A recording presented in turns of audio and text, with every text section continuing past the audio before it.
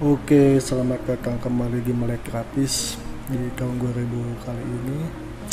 Tepatnya tahun 2022, gue udah lama nggak upload, jadi eh, agak sedikit banyak kesibukan yang harus gue kerjakan. Hingga kali ini gue akan mencoba eh, membuat tutorial tips eh, bagaimana caranya untuk menghapus eh, background yang cukup rumit.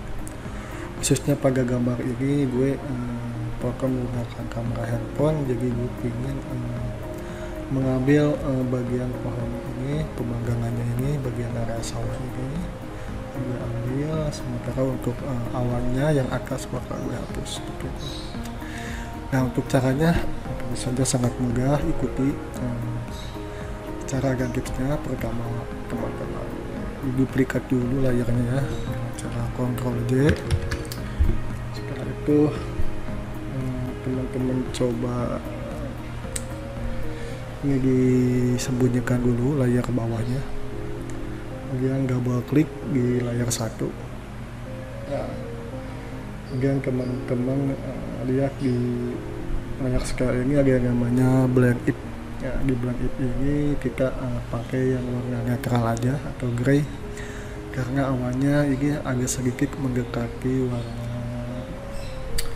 grey ya kecuali kalau awannya mendekati warna biru merah teman-teman bisa pilih salah satu eh, opsi berikut ya oke. Oke kalau sudah gue akan coba geser ini ke kiri. Maka dia akan terhapus. Nah, seperti itu.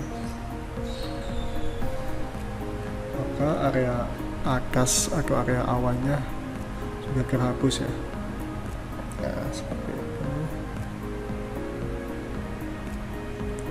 Ini digeser ke ya. Nah, kalau belum sempurna teman-teman coba pelan-pelan rapihkan. Ya, seperti ini. Sehingga ada beberapa area eh, yang tidak bisa terhapus kita coba bagi dua dulu dengan cara tekan alt nah ini udah kepecah. Bagian ini agak yang ditarik ke kiri dan ditarik ke kanan. Nah, seperti ini. Kita akan coba. Oke. Gunungnya dibiarin hilang saja ya biar bersih seperti itu. Nah oke udah kehapus backgroundnya oke kalau sudah gue akan coba ganti ground background warna lain. Buat layar baru biasanya gue akan coba ganti background jadi warna ya. Coba kita tekan agak nah seperti ini backgroundnya udah terhapus ya. Jadi inilah uh, tips menggunakan blend it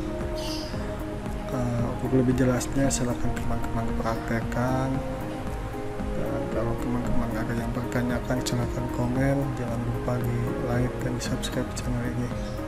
Gue sekian terima kasih. Sampai jumpa di video-video selanjutnya